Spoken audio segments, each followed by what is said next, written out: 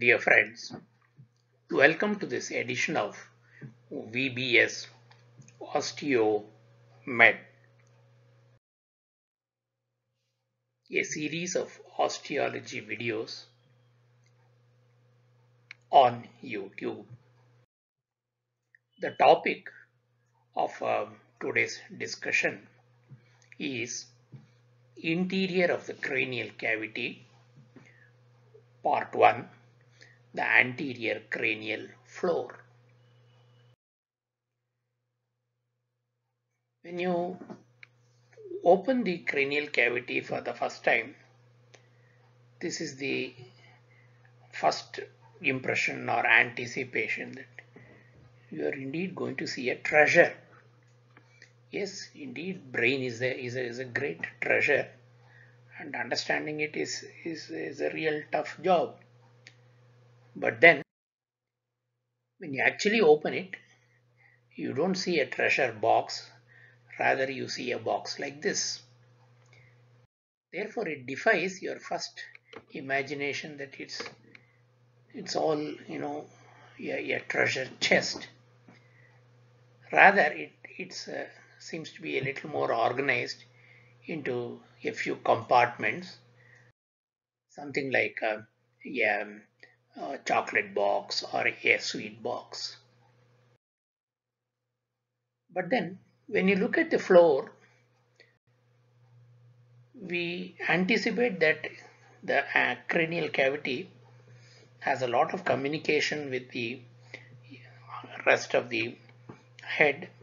We particularly think there could be a lot of gaps or windows in the floor may not be of the windows that you see in a building like this, but certainly you can see on the photograph there foramen, foramina of various shapes. We will go into it in detail in due course. Now, we start the discussion from here. The two flashing lines, blue and white flashing lines. There are two in this photograph which roughly demarcates the cranial floor into three areas or zones respectively anterior, middle and posterior. Remember we had the same classification in the base of skull also, exterior of the skull, skull base. Same pattern we can consider here also. Anterior frontal region, middle sphenotemporal region and posterior occipital region. Now, the area highlighted by the box in the small photograph has been blown up for a detailed view or a magnified view. Notice the following. This area is the anterior cranial floor, floor of the anterior cranial fossa. We see the following bones shown in a quadrangular area in a blue and white dotted line is the ethmoid bone. On either sides of the ethmoid bone is the orbital plate of the frontal bone. Behind the ethmoid bone, shown by a flashing arrow, is the sphenoid bone. These are the three bones that contribute to the anterior cranial floor. Next, a few details to the extent identifiable here Right in the sagittal plane, the ethmoid shows a projection upwards into the cranial cavity that's called the crista galli. You will see in a later photograph, the falx cerebri is attached to the crista galli. Next, on either sides of the crista galli, the crista galli is a vertical structure, but the one I am now discussing as shown by the flashing arrows, are two horizontal plates of bone highly perforated and called the cribriform plates. Now, the perforation is for the olfactory nerves to uh, move from the nasal cavity into the cranial cavity where they join the olfactory bulb.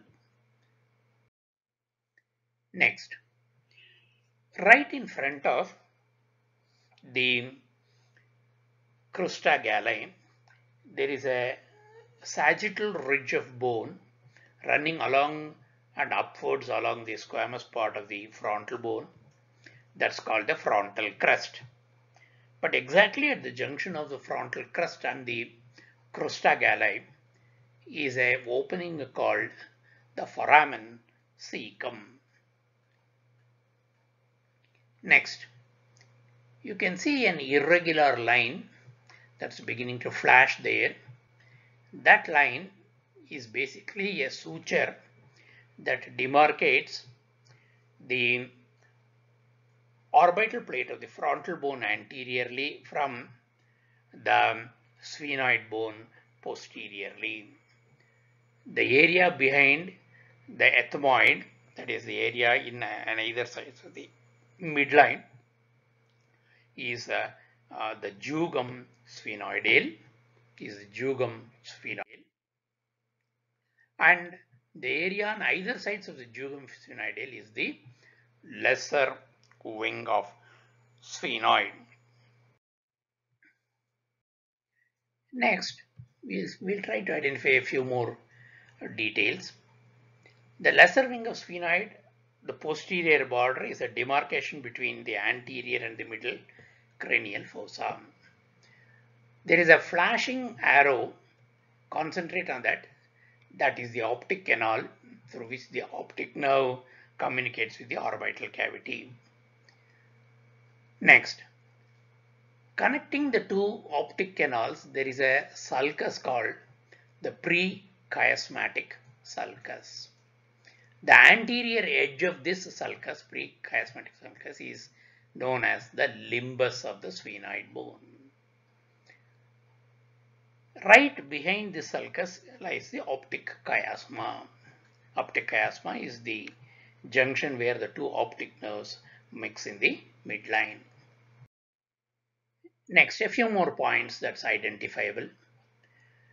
The anterior clinoid process is nothing but a posterior bony extension of the lesser wing of the sphenoid. Next, when you trace its roots, it has two roots.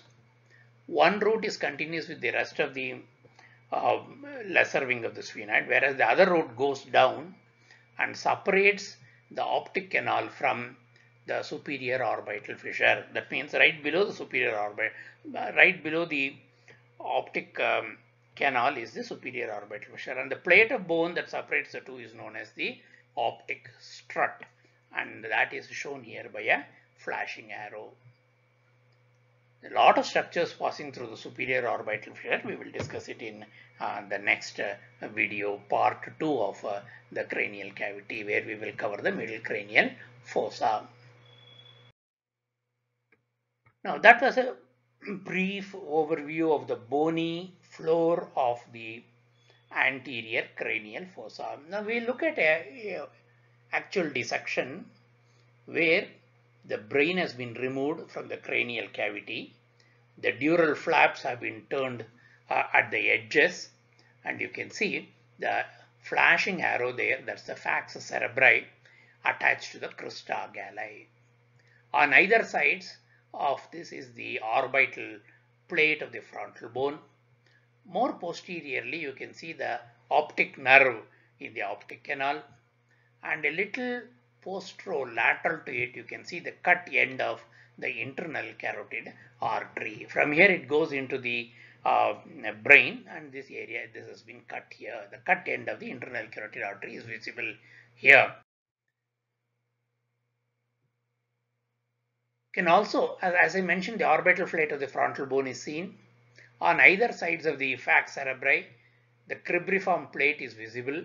Further behind it is the jugum sphenoidale and the sharp edge of the lesser wing of the sphenoid is also clearly seen in this photograph.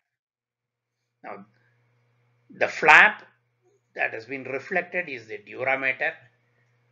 It's been reflected off the edge of the um, uh, cut bone. The cribriform plate can be seen on either sides of the falx cerebri. The crista galli is not visible because the falx is attached to it.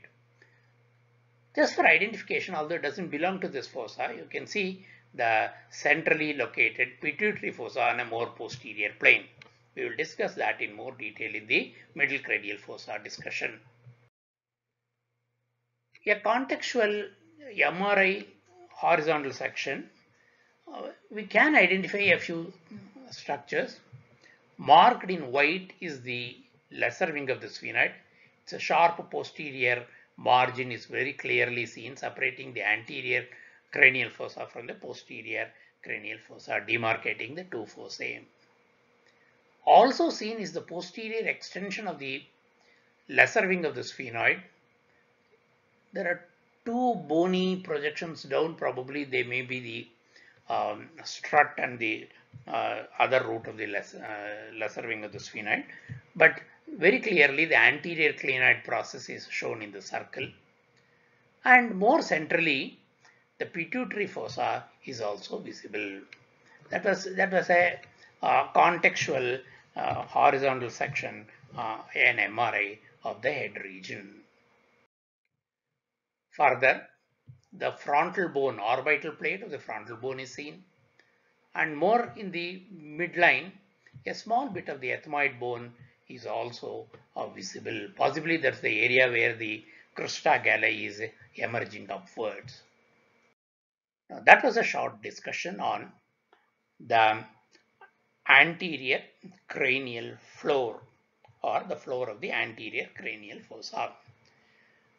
I would request you to give your feedback to this email ID or better still you can write your feedback in the blog area below the YouTube video. This was a presentation from the Department of Anatomy, St. John's Medical College, Bangalore, India. A similar set of videos is also available on YouTube in the channel VBS Histo Med. Uh, it is accessible free access. Members, students and faculty who would like to make use of it, you are welcome to do so. You can subscribe to this channel and also press the bell button so that as and when more videos are added, you will be notified. This is a set of about 90 plus histology videos useful for students of medical, dental, nursing, physiotherapy and allied science courses across the world. Thank you for your patient hearing.